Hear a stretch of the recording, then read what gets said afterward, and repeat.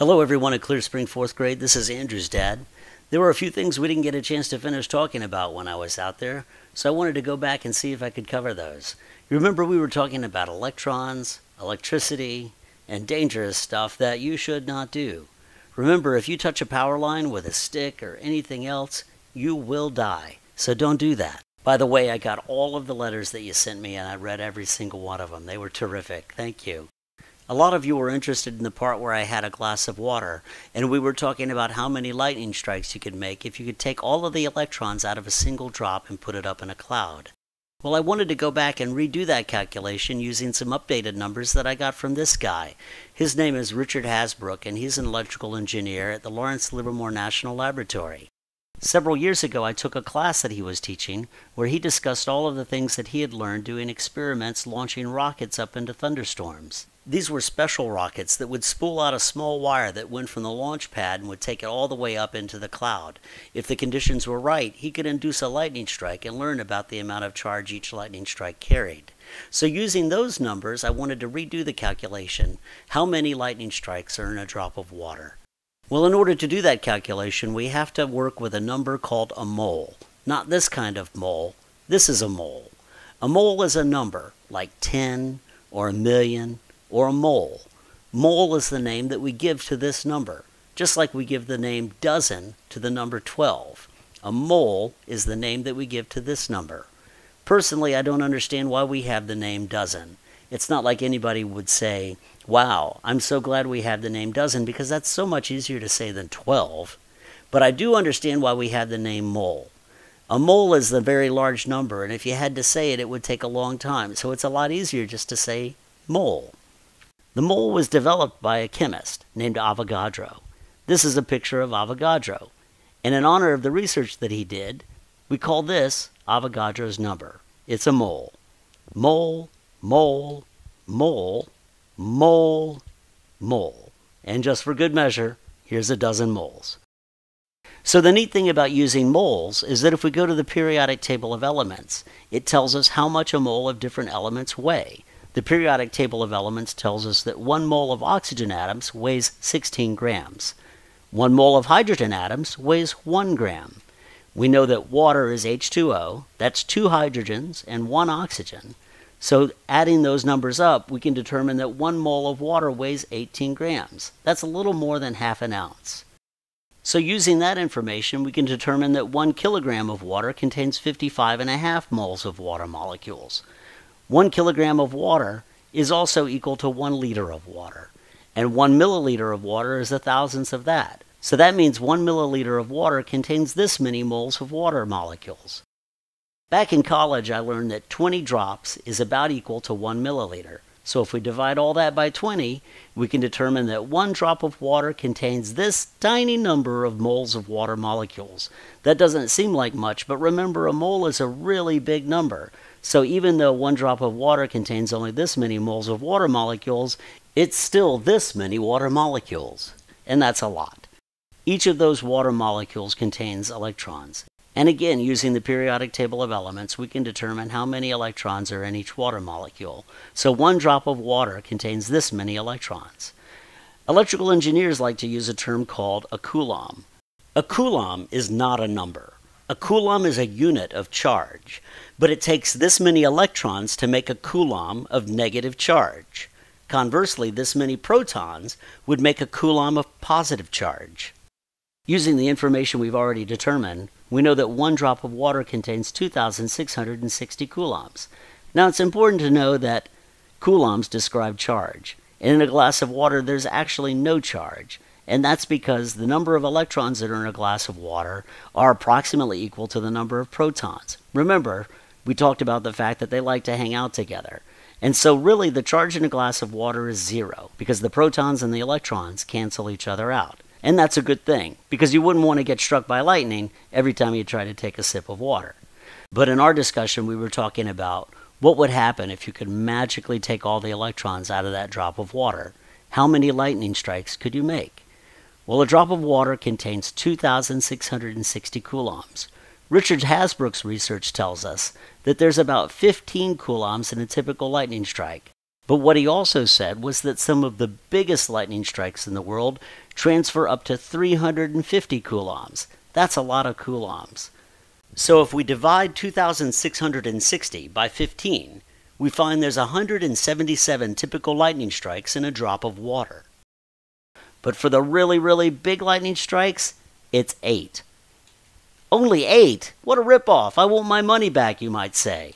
But remember, that was for just the big ones. Using the electrons found in one drop of water, you can make over 170 typical lightning strikes. And that's a lot of lightning for just a little drop of water. So, a lot of you ask the question why can a bird stay on an electric power line without getting electrocuted? And I said, because the bird is not touching the ground or the pole or anything else. Therefore, there's no path to ground through the bird, and no electrons pass through the bird. We cannot touch the wires because our feet are almost always on the ground. And whenever we're touching the ground, or we are touching something else that is touching the ground, we say that we might be grounded. Grounded is the word that means that you are electrically connected to the ground.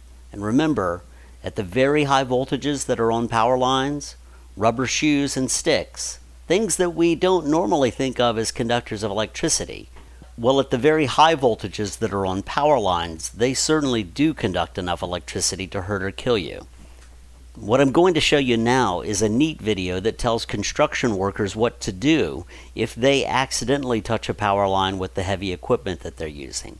Listen carefully and you'll hear them talking about a path to ground. It's important to understand why it's safer to stay on the machine during an electrical contact. It involves the flowing of electricity from source to ground.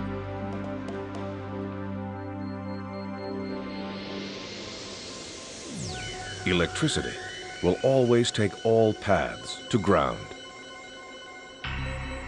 Anything can be a conductor. Even dry wood or plastic will conduct a current if the conditions are right. But how well it conducts electricity affects its ability to hurt you. For example, a bird on a wire.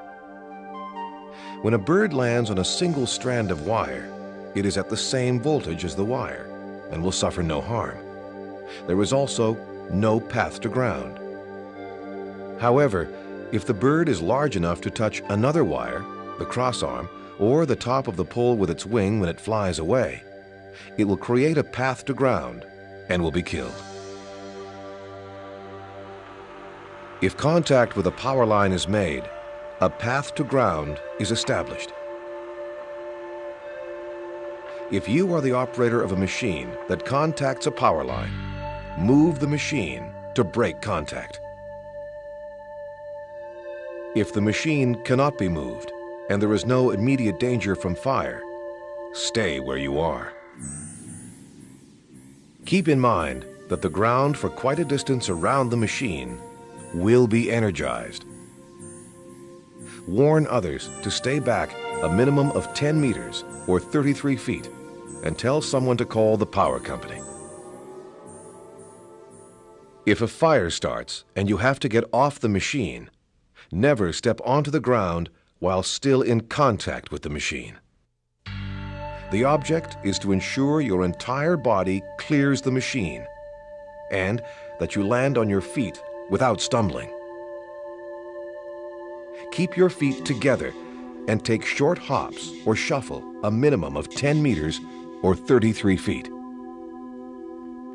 Separating your feet can cause the electricity to pass through your body because it will give the electricity another path to flow through. So it seemed like everybody's favorite video was the stick on the wire. And here it is again.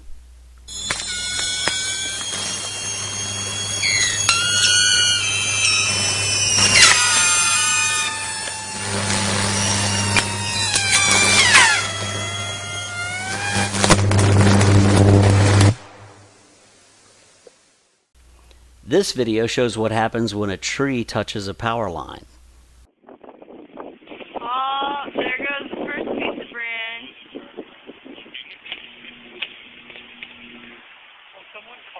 Yeah, yeah. yeah. oh. oh.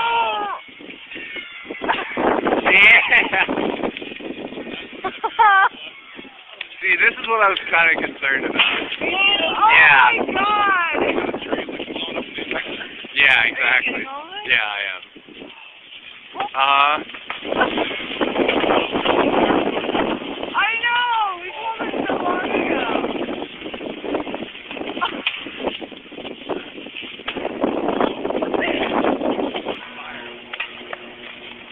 You can see the electricity starting to flow down through the tree to the ground. As the tree burns and carbon is formed, the tree gets more and more conductive and the power increases through the tree. The power company has devices called circuit breakers in certain parts of the power distribution system. When a serious fault occurs, like this one with the tree touching the power line, the power line experiences a surge in electrical current. When the surge becomes great enough, the circuit breaker will turn off the power to prevent damage to the power lines. And that happens right about now.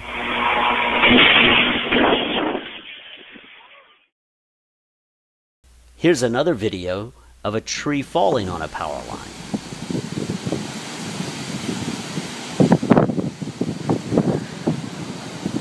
Again, when the power line hits the ground, there's a surge and the power goes off when the circuit breaker turns off the power.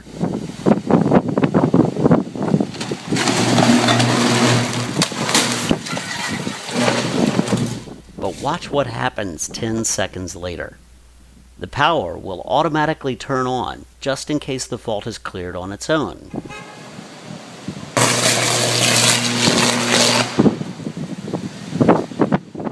In this case, the fault was still there and the circuit breaker turned off the power again. Let's replay that last video again and imagine somebody doing something foolish.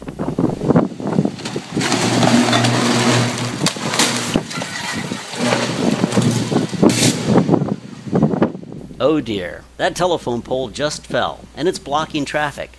Good thing the power's off. Let me grab a hold of this thing and pull it out of the way. Oh, that guy would be owned. Okay, let's go back to that video with the tree again and watch it with the circuit breakers in mind.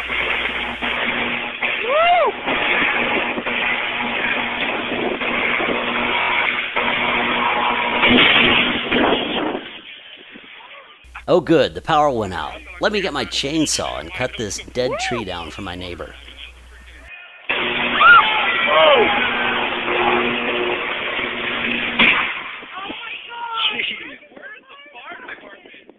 Well, they're gonna hear this now. This cycling of power, on and off, can go on for many minutes.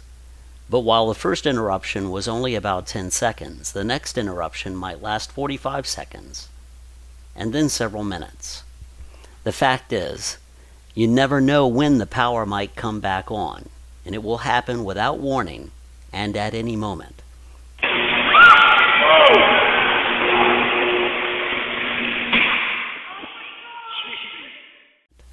So you must never approach downed power lines, even if you think they're off, even if you're certain they're off.